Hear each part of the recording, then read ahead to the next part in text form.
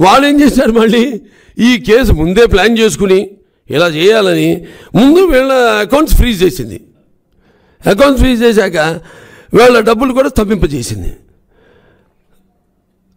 దాంతో హైకోర్టు వాళ్ళకి చివాట్లు పెట్టింది. ఇంతమందికి మరి వాళ్ళు ట్రైనింగ్ ఇస్తున్నారు కదా ఇస్తున్నారు. మీరు మీరు అప్పుడు ఈ గవర్నమెంట్ ఇస్తున్నారు. మరి ఇంత వేల మందికి ఎంత ఉపాధి కల్పిస్తుంది కదా. ఇది వాళ్ళు వేసిన ఒక పీ వేశారు. ఒక అంటే ఇప్పుడు ఉంది ఇప్పుడు ఇప్పుడు దీంట్లో చూడండి అసలు ఎప్పుడు. అప్పుడు ఒకసారి ఎఫ్ఐఆర్ నమోదు చేశారు. దాంట్లో ఏది పేరు లేదు. దాని తర్వాత ఏమో మరి ఇది నిజంగా అవినీతి అయితే అసలు అప్పుడు మరి వీళ్ళు ఇది ఎందుకు చేయలేదని చెప్తున్నాను. ఇది మా ఎఫ్ఐఆర్ కాదు ఛార్జ్ షీట్ ఎందుకు చేయలేదు? షీట్ ఎందుకు చేయలేదు? దాని తర్వాత స్తంభింప చేశారు మధ్యలో ఒక హైకోర్టు చిపాట్లు పెట్టింది వీళ్ళకి. ఇంతమందికి ఇస్తున్నారు? తరఫిది ఇది అన్య- అన్యాయంగా అన్యాయమైన నిధులు కావు ఇవి అని హైకోర్టు వాళ్ళకి అక్షతలు పట్టించడం జరిగింది వేయడం జరిగింది వాళ్ళకి.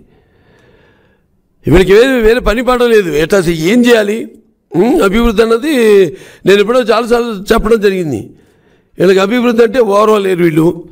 ఆ, మనుషులు పైకి రావడం అంటే వాళ్ళు అసలు మనుషులు అంటేనే ఎలర్జీ అని చెప్పాను ఇంతకుముందు.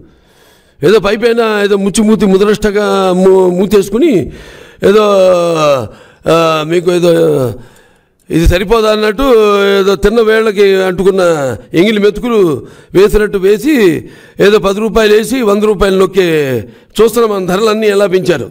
డీజిల్ కానివ్వండి పెట్రోల్ కానివ్వండి ఇంటి ట్యాక్స్ అని ఆ ట్యాక్స్ అని చెత్త ట్యాక్స్ అని చెత్త చెత్త ట్యాక్స్ అన్నీ వేసి ఇంకా ముందు చాలా వేస్తారు గుర్తుపెట్టుకోండి మీరందరూ ప్రజలు. ఒక ఛాన్స్ ఒక ఛాన్స్ అని సరే ఇప్పుడు ఈ విషయంలో రెండు లక్షల ముప్పై వేల మందికి ఉద్యోగాలు భర్తీ చేస్తాం ఖాళీగా ఉన్నాయని జాబ్ క్యాలెండర్ అని రిలీజ్ చేసి ఇప్పటిదాకా ఒక్కడికైనా ఉద్యోగం ఇచ్చాడా? ఊరికే మాట్లాడటం అవతల వాళ్ళు ఏంటంటే తిట్టడం తప్పితే ఆనాడు మరి అసెంబ్లీలో అడిగిన ప్రశ్నకి గౌతమ్ రెడ్డి గారు అప్పుడు మినిస్టరు అతను కూడా సమాధానం చెప్పాడు. ఏమని పదహారు లక్ష పదహారు వేల కోట్ల కోట్ల రూపాయలుతో సంస్థలు తేవడం దాంతో ఐదు లక్షల ప పదహారు పదిహేడు వేల మందికి ఉద్యోగాలు ఇచ్చారు అని అడిగిన ప్రశ్నకి అతనే సమాధానం చెప్పాడు.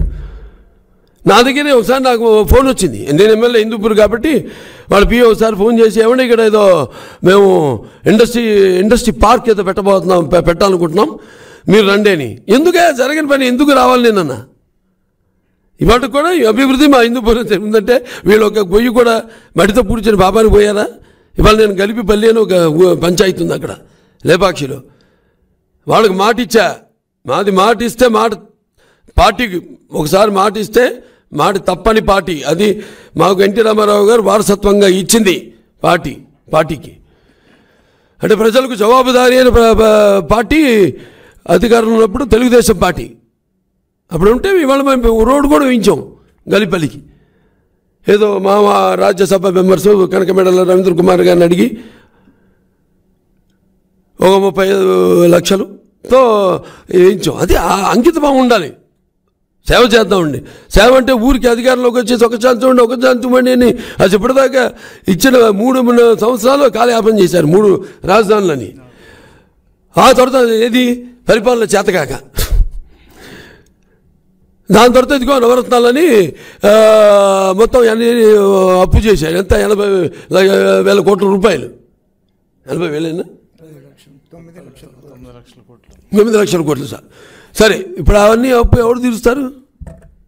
మళ్ళీ అధికారంలోకి తీసుకొస్తే ఎవరు ఎవరు ఎవరు తీరుస్తారు? మీ మీదే పడుతుంది భారం. ఏదో ట్యాక్స్ రూపంగాను ఇంకా వివిధ వివిధ వివిధ వివిధ రకాలుగా మీ మీద భారం మోపి ఇక టిట్కోయిళ్ళు ఉన్నాయి ఇదిగో ఒక క్యాలెండర్ రిలీజ్ చేశారు.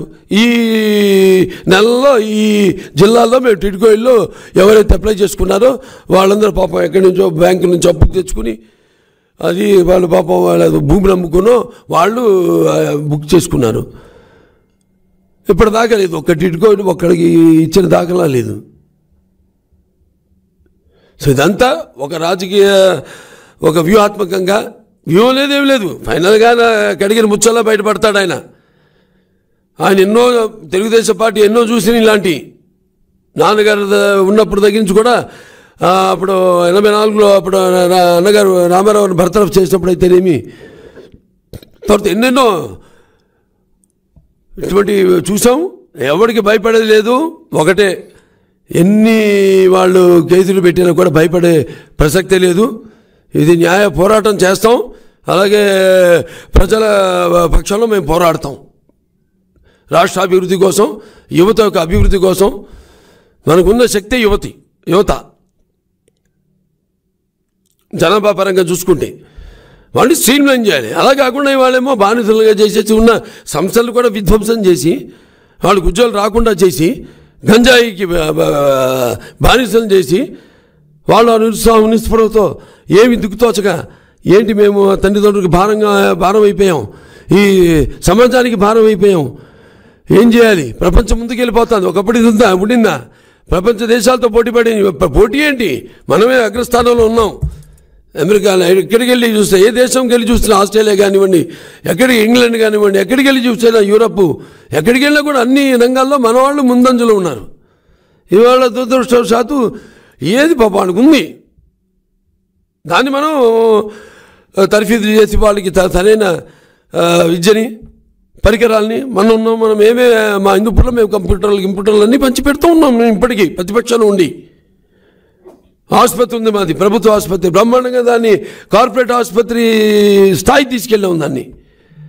ఎంసీఏ పెట్టాం MCH mother and child health పెట్టాం అక్కడ ఇరవై మూడు కోట్లు పెట్టి. బ్రహ్మాండంగా పన్నెండు డయాలసిస్ యూనిట్లు పెట్టాం.